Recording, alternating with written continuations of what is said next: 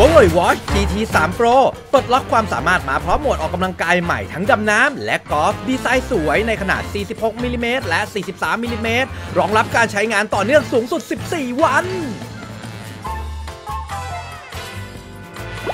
สวัสดีครับ ทุกคนอยู่ในช่อง T3B ครับและตอนนี้เป็นช่วง T3B ครูบูมสอนดำน้ำนะครับ ทุกเรื่องไม่ว่าจะเป็นการดำน้ำสกูบ้าหรือว่า freedive สามารถติดตามได้ที่นี่เลยครับ วันนี้เป็นข่าวดีสำหรับคนที่ชอบดำน้ำ freedive นะครับเพราะว่าทางหัวเว่ยเนี่ยเขาออกสมาร์ทวอชตัวใหม่มาครับ เป็นสมาร์ทวอชที่มีฟังก์ชันสำหรับการดำน้ำ freedive โดยเฉพาะ วันนี้เราจะมารีวิวตัวนี้เลยครับหัวเว่ย Watch GT 3 Pro รุ่นสำหรับนักดำน้ำ freedive โดยเฉพาะ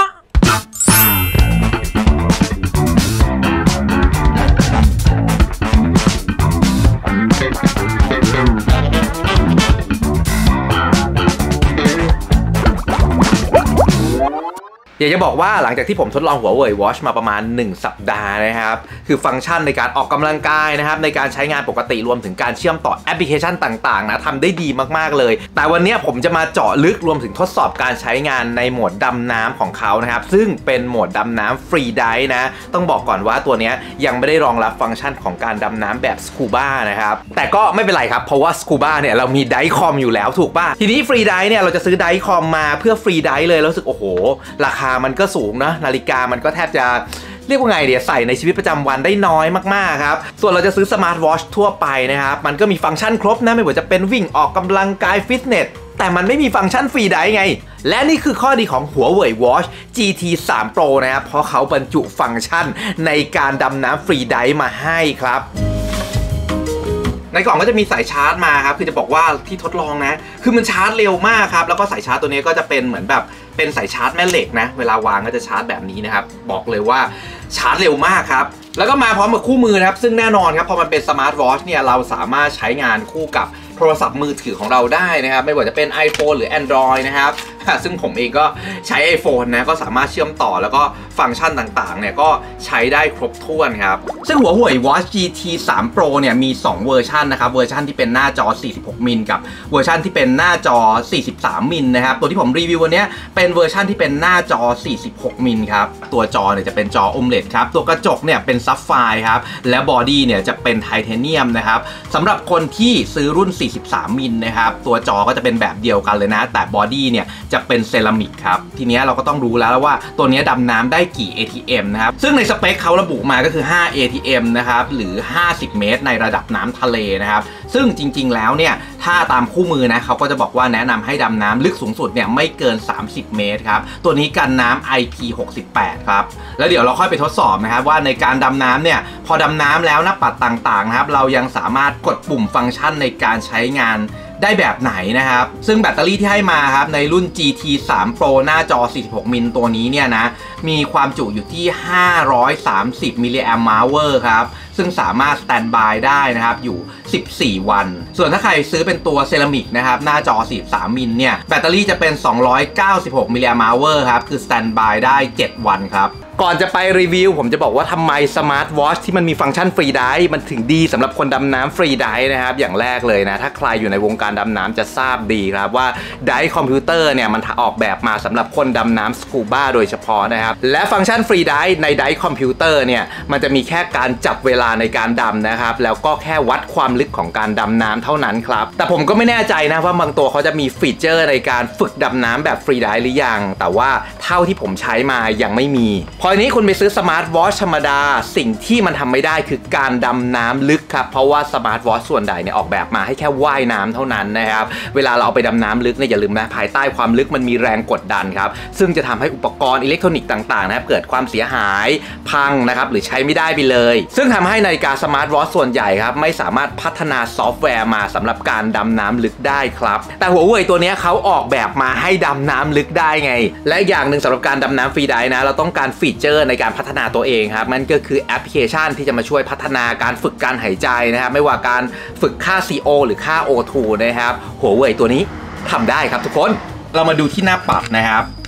หลายคนก็บอกโอ้หน้าปัดมาแบบสกรีนแบบไหนนะครับผมจะให้ดูนะครับซึ่งจริง ๆ แล้วเนี่ยมันเลือกสกรีนได้หลายตัวนะเยอะมากๆนะครับ แต่ตัวที่ผมเลือกเนี่ยจะเป็นตัวสุดท้ายนะครับก็คือเป็นสกรีนดำน้ำครับถ้าเพื่อนๆสังเกตดีๆครับหน้าตามันจะเหมือน submarine ไงซึ่งตรงเนี้ยเขาก็มีให้เราดาวน์โหลดเพิ่มเติมนะครับมีแบบทั้งฟรีนะครับแล้วก็แบบที่จะต้องไปเสียเงินเพิ่มครับ ทีนี้เรามาดูฟีเจอร์ในการดำน้ำดีกว่านะ ถ้าเราเลือกหน้าปัดที่เป็นหน้าปัดดำน้ำตัวนี้นะครับ เราสามารถกดเข้าฟังก์ชันในการดำน้ำได้เลยนะครับ จากปุ่มรูปนักดำน้ำตรงนี้ครับ พอเข้าไปนะครับ มันก็จะเป็นเมนูกีฬานะครับ ซึ่งเราเลือกขึ้นลงนะครับ ก็เป็นเมนูกีฬา มีแบบว่ายน้องว่ายน้ำอะไรอย่างงี้นะ อ่า ทีนี้ผมก็จะเลือกเมนูที่เป็นการดำน้ำครับ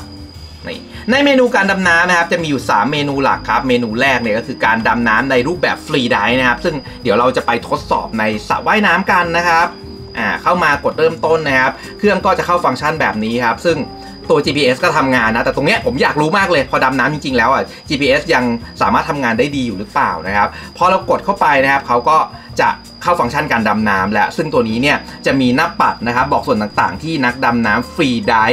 ต้องการใช้นะครับ อย่างแรกก็คือระยะเวลาที่เราอยู่ใต้น้ำนะครับ เรากลั้นหายใจอยู่ในน้ำได้นานแค่ไหนนะครับ ลงไปที่ความลึกกี่เมตรนะครับ แล้วความเร็วในการขึ้นในการลงเท่าไหร่นะสำหรับคนที่ดำน้ำฟรีไดฟ์ในรูปแบบแข่งขันนะครับ เราต้องการทำสถิติ บวกกับความลึกนะแล้วต้องรู้ความเร็วในการลงนะครับ หรือความเร็วในการขึ้นนะครับ ซึ่งผมเข้าใจว่าตรงเนี้ยจะเป็นมิเตอร์บอกด้วยนะนะครับว่าความเร็วเราอยู่ที่ระดับเท่าไหร่นะครับ หรือการขึ้นลงนะครับให้เร็วอย่างปลอดภัยนะครับ เราก็จะได้รู้นะครับว่าอัตราการขึ้นลงของเราเนี่ยเร็วเท่าไหร่ ซึ่งในการดำน้ำฟรีไดฟ์เนี่ยหากเราขึ้นเร็วเกินไปครับมีโอกาสเสี่ยงที่จะเกิดอาการ shallow water back out เหมือนกันนะครับ เนื่องจากว่าก๊าซคาร์บอนไดออกไซด์นะครับที่สะสมอยู่ในเลือดของเราเนี่ยเกิดการเปลี่ยนแปลงเฉียบพลันในช่วงความลึกแล้วก็แรงดันที่เปลี่ยนแปลงครับ แล้วก็ส่วนสุดท้ายครับด้านล่างนะครับเขาก็จะบอก maximum depth นะครับก็จุดที่เราลงไปดำลึกสุดเนี่ยมันคือกี่เมตรครับ เมื่อเราใช้งานโหมด freedive เสร็จครับ เครื่องก็จะสั่งให้เราระบายน้ำออกจากตัวเครื่อง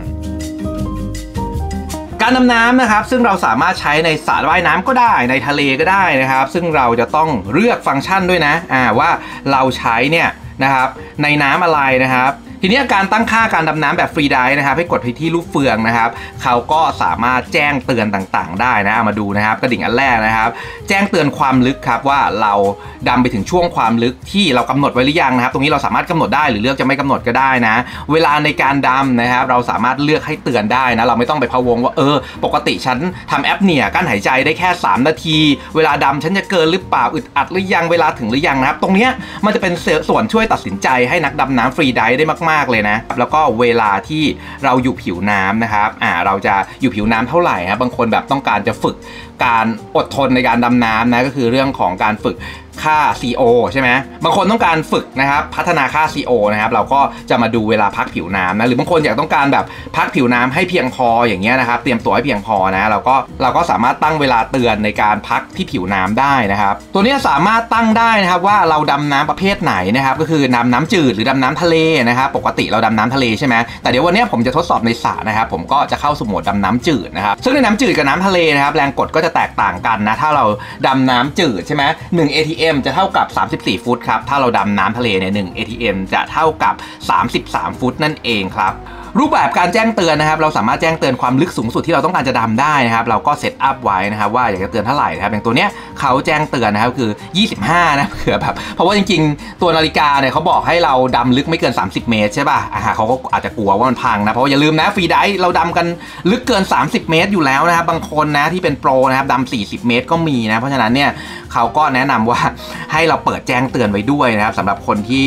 เป็นโปรนะครับดำลึกมากๆนะ และตัวนี้สามารถตั้งการตรวจจับอัตโนมัตินะครับก็คือเครื่องโดนน้ำเนี่ยระบบฟรีไดฟ์ก็สามารถทำงานได้ทันทีนะครับเราไม่ต้องมาคอยนั่งจิ้มจิ้มจิ้มเข้าโหมดฟรีไดฟ์เนี่ยนะไม่ต้องมานั่งจิ้มแบบนี้ปุ๊บเข้าโหมดกด freedive นะครับคือลงน้ำปุ๊บเครื่องทำงานเป็นโหมด freedive อัตโนมัตินะครับเราก็สามารถเปิดไว้ได้เลยนะ สำหรับคนที่เรียนดำน้ำ freedive มาแล้วนะครับต้องทราบดีแน่ๆนะครับว่าการดำน้ำ freedive เนี่ยต้องอาศัยการฝึกฝนนะไม่ใช่ว่าเราเรียน freedive จบปุ๊บโอ้โหเราจะดำน้ำ freedive ดำได้ลึกดำได้เก่งเลยไม่ใช่นะเราต้องฝึกฝนเป็นประจำทุกวันนะครับเพราะนั้นมันจะมี pattern ในการฝึกฝนอยู่นะไม่ว่าจะเป็น pattern CO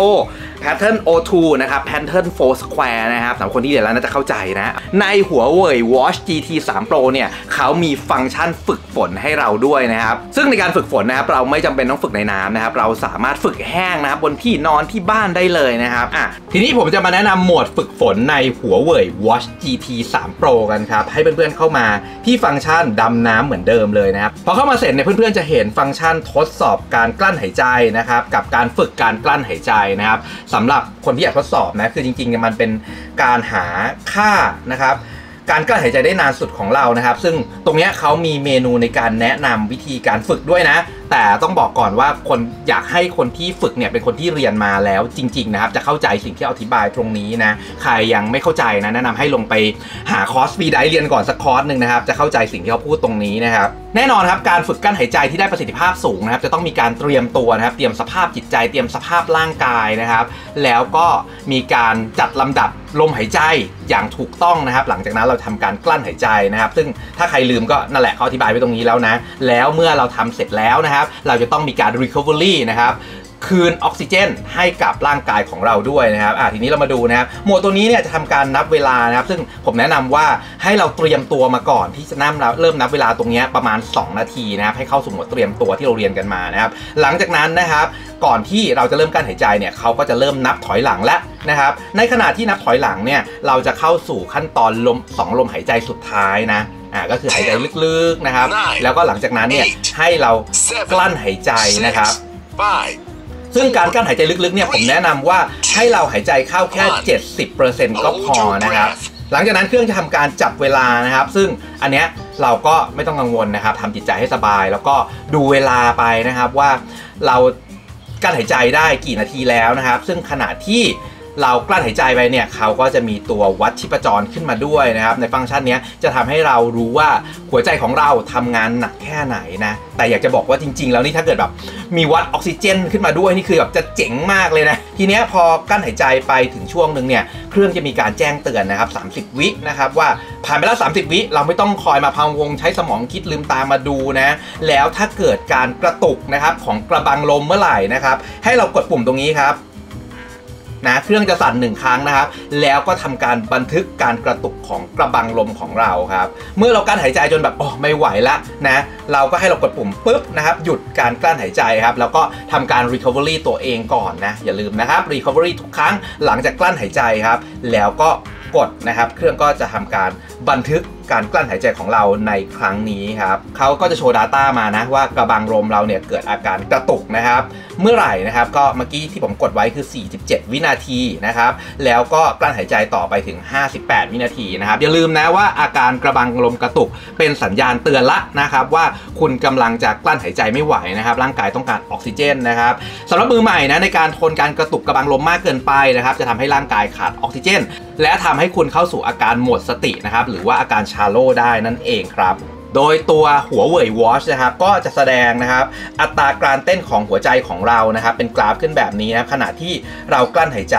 ทีนี้เรามาดูฟังก์ชันในการฝึกการกลั้นหายใจนะครับเพื่อนๆสามารถดัดแปลงใช้ฝึกทั้ง Dynamic Apnea แล้วก็ Static Apnea ได้เลยนะครับ ตัวนี้นะ แล้วก็ฝึกได้ทั้งค่า O2 แล้วค่า CO ด้วยนะครับโดย standard ของเครื่องนะครับเขาจะมี pattern มาให้นะ เราบวก pattern เพิ่มได้นะ เราอยากจะฝึกกี่ cycle นะครับ ซึ่งด้านหน้าตัวสีน้ำเงินนะครับจะเป็นเวลาการหายใจ ส่วนด้านหลังตัวสีเหลืองนะครับ จะเป็นการกำหนดเวลาการกลั้นหายใจนะครับ ถ้าเราอยากเปลี่ยนแปลงนะครับ เราก็มากำหนดนะครับ บางคนอาจจะแบบใช้เวลาเตรียมตัวก่อนกลั้นหายใจนานเนี้ยอาจจะแบบ1-2 นาทีนะครับ อ่าเราก็จะต้องเซตอัพไว้นะครับว่าเราต้องการจะกลั้นหายใจเท่าไหร่นะครับซึ่งในแต่ละช่วงนะเราก็ปรับได้นะครับ เช่นพอเราหายใจเรากลั้นหายใจเสร็จละนะครับเราอยาก recovery นะครับใช้เวลานานหน่อยนะ เพื่อฟื้นฟูนะจริง ๆ มือใหม่อะผมแนะนำงี้คือหลัง recovery อะกลับมา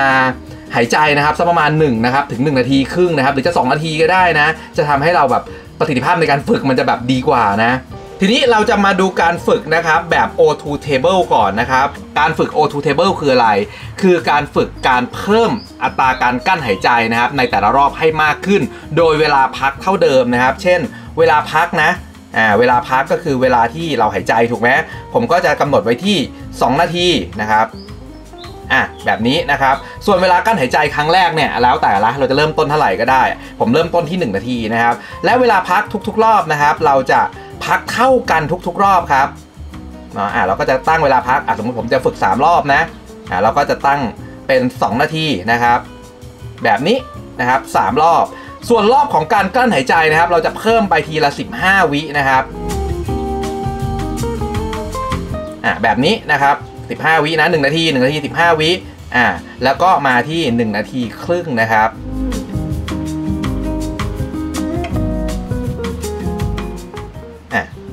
อะสมมุติผมฝึกแค่ 3 รอบนะ เราก็จะตั้งตารางแบบนี้นะครับ อย่างนี้เรียกว่า O2 table นะครับ ซึ่งการฝึกแบบนี้นะครับ จะทำให้เราเพิ่มเวลาการกลั้นหายใจได้ครับ ฝึกอย่างน้อยนะครับ วันหนึ่งสัก3 cycle นะครับ3รอบแบบนี้นะครับ หรือถ้าใครอยากจะฝึกแบบเยอะ ๆ เลยนะครับ ก็ค่อยๆพัฒนาเพิ่มไปนะครับ แต่ว่าอย่าเกิน limit ที่ตัวเองทำได้แล้วกันนะ ทีนี้พอเราฝึกเสร็จนะครับ เราต้องการ reset นะครับ เราก็ กด reset แบบนี้นะครับ ทุกอย่างก็จะกลับมาเป็นค่าตั้งต้นนะทีนี้ต่อมานะครับเราจะมาลองตั้งนะครับแบบตาราง CO2 table กันบ้างนะครับ CO2 table คืออะไรนะครับ คือการฝึกการทนต่อคาร์บอนไดออกไซด์นั่นเองนะครับ ก็คือพูดง่ายครับ เราจะพักน้อยลงเรื่อยๆนะครับ แต่กลั้นหายใจเท่าเดิม ทีนี้เราดูครับว่าเรากลั้นหายใจได้เท่าไหร่อะสมมติเป็น 1 นาทีเนี่ยแหละเนาะเราจะฝึกที่ 1 นาทีนะครับเราจะกลั้นหายใจ 1 นาทีทุกรอบเลย ส่วนเวลาพักนะครับ เราจะเริ่มจากเยอะก่อน โดยการพักกลั้นหายใจรอบแรกนะ ผมตั้งไว้ที่ 2 นาทีครึ่งนะอันแรกไม่นับนะเพราะอันนี้เป็นการเตรียมตัวนะจริงอันนี้ อันแรกตั้งไว้ 30 วิเลยก็ได้นะครับส่วนรอบนะครับหลังจากที่เรากลั้นหายใจมาแล้วใช่ไหมเราจะพักใช่ไหมอันแรกผมตั้งไว้พักที่ 2 นาทีครึ่งนะครับส่วนรอบต่อมานะครับเราจะลดลง 15 วินะครับก็จะเหลือ 2 นาทีอ่า 15 วิเพื่อ recovery นะครับ แล้วก็ลดลงเรื่อยๆนะครับอะอันนี้ก็จะเป็น 2 นาที โดยเราจะกลั้นหายใจนะครับ เท่าเดิมหมดเลย แต่เวลา recovery หรือเวลาพักของเราจะน้อยลงเรื่อยๆนะครับ อย่างเงี้ยก็จะเป็นการฝึกการทนต่อก๊าซคาร์บอนไดออกไซด์นั่นเองครับในการฝึกฝนนะครับ ถ้าเราอยู่เฉยๆนะครับ หรือว่าเรานอน หรือว่าเราอยู่ในท่าที่รีแลกซ์นะครับ เราเรียกว่า static apnea นะครับ คือการฝึก กลั้นหายใจนะครับ ฝึกควบคุมปอด ฝึกควบคุมการหายใจของเรานะครับ ส่วนการเคลื่อนไหวไปด้วยนะครับ เช่นบางคนอาจจะใส่นะครับ แล้วก็ดูว่าเราสามารถกลั้นหายใจได้นานแค่ไหน ในขณะที่เราเดินช้าๆนะครับ อย่างนี้คือการฝึก dynamic apnea นะครับ เพราะว่าจริงๆ แล้วในการดำน้ำเนี่ย เราต้องมีการตีฟินเนาะ เราต้องมีการเคลื่อนไหวร่างกายนะครับ ดังนั้นการใช้ออกซิเจนในร่างกายก็จะแตกต่างกันด้วยครับซึ่งพอเราใส่หัวเว่ยวอชไปนะครับ เวลาเราฝึกฝนนะครับอะพอเรากดฝึกเสร็จเรียบร้อยครับ เขาก็ เราเซตเสร็จเรียบร้อยเสร็จใช่ไหมเราก็สามารถกด play ตรงนี้นะครับ เข้ามาในการฝึกได้เลยนะ โดยการ start ครั้งแรกนะครับในการ start ครั้งแรกเนี่ยเขาก็จะนับเวลาให้เราก่อนนะให้เราหายใจก่อนนะครับ ในการวัดจะวัดชีพจรด้วยนะ แล้วก่อนการหายใจเนี่ยเขาจะนับถอยหลังให้นะครับ ซึ่งเราก็จะเตรียมตัวกั้นหายใจครับ หลังจากนั้นเราก็ทำการกลั้นหายใจ Hold your breath. เพื่อจะสังเกตครับในขณะที่เรากั้นหายใจเนี่ยเขาก็จะมีมิเตอร์นะครับค่อยๆเขาดาวให้เราด้วยนะ จริง ๆ แล้วแบบการที่เรามองเห็นมิเตอร์เขาดาวมองเห็นตัวเลขนะครับมองเห็นอัตราเต้นหัวใจนะครับเราจะทำให้เราสามารถควบคุมตัวเองได้ง่ายกว่านะเพราะอย่าลืมนะการที่หัวใจเราเต้นเร็วนะครับร่างกายเราใช้ออกซิเจน เยอะด้วยถูกป่ะอ่ามันก็จะทำให้เรากั้นหายใจได้น้อยด้วยนะครับ Six. นะครับเมื่อการกั้นหายใจใกล้เสร็จนะครับเขาก็จะนับเขาดาวถอยหลังให้เรานะครับ One. Breathe. อ่าแล้วเขาก็จะให้เรากลับมา recovery นะครับ เราก็กลับมาหายใจนะครับซึ่งขณะที่เราการหายใจถ้าเกิดเราเชื่อมต่อกับโทรศัพท์ไว้นะ มันก็จะมีสัญญาณ เตือนขึ้นมาด้วยนะครับ แนะนำว่าเพื่อสมาธิที่ดีนะครับ ให้ปิดการแจ้งเตือนทุกรูปแบบนะครับ ในการฝึกนะครับในการฝึกนะอ่า ตรงเนี้ยเขาจะตั้งไว้นะครับก็คือเราจะฝึกทั้งหมด 8 รอบใช่ไหมตอนเนี้ยผ่านไปละนะครับ1รอบนะครับเขาก็เตรียมเข้าสู่รอบ2ก็จะมีตัวเลขบอกอยู่ตรงนี้ด้วยนะ ทุกคนครับ วันนี้ผมเอา Huawei Watch GT 3 Pro มาทดสอบการใช้งานในสระกันดูครับสระที่ผมใช้เนี่ยความลึกอยู่ที่ประมาณ 3.8 เมตรนะครับแต่วันนี้น้ำออกจะขุ่นซะหน่อยเพราะว่าเมื่อวานเนี่ยฝนตกหนักมาก ในการใช้งานนะครับผมกดปุ่มโหมด freedive ไว้ครับ แล้วหลังจากที่เราลงน้ำเนี่ยเครื่องจะทำงานเองอัตโนมัติครับ แล้วก็หยุดทำงานเองเขาดาวเวลาพักที่ผิวน้ำเนี่ยเวลาที่เรากลับขึ้นผิวน้ำครับ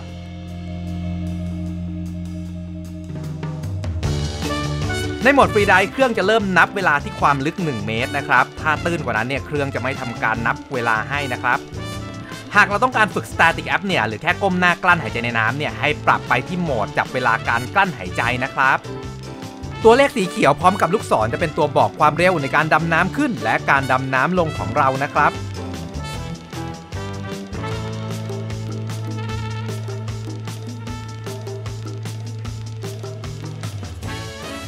พอขึ้นมาถึงผิวน้ำเครื่องก็จะจับเวลาการพักที่ผิวน้ำให้เราด้วยครับ โดยที่เราไม่ต้องกดปุ่มอะไรบนตัวเครื่องอีกเลย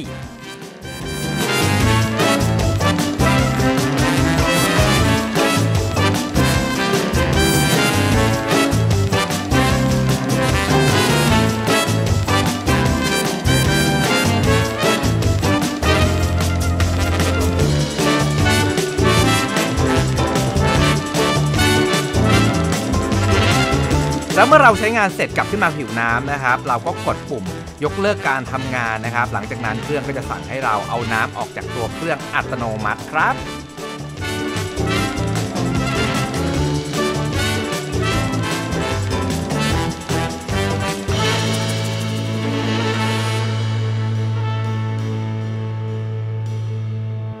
แล้วเมื่อเรากลับมาเชื่อมต่อกับแอปพลิเคชันนะครับ Data ทั้งหมดจะถูกบันทึกลงมาบนโทรศัพท์มือถือของเราตรงนี้ครับโดยมีการบันทึกตำแหน่ง GPS ที่เราไปดำนะครับ ระยะเวลาการดำทั้งหมดเลยนะครับ แล้วเวลาที่เราอยู่ใต้น้ำรวมครับจำนวนที่เราขึ้นลงจากในน้ำนะครับ ความลึกสูงสุด ความลึกเฉลี่ย และเวลาที่เราดำได้สูงสุดครับ รวมถึงเอามาเขียนเป็นกราฟแบบนี้ให้เรานะครับ แล้วก็แล้วก็แยก Data เป็นแต่ละไดร์ที่เราดำลงไปด้วยนะครับส่วนในโหมดฝึกฝนนะครับ ก็มีบันทึกให้เราดูย้อนหลังสถิติของเรานะครับในการฝึกฝนด้วยนะ Huawei Watch GT 3 Pro นะครับยังมีฟังก์ชันอื่นเกี่ยวกับกีฬาที่น่าสนใจและน่าใช้อีกนะครับเพื่อนๆก็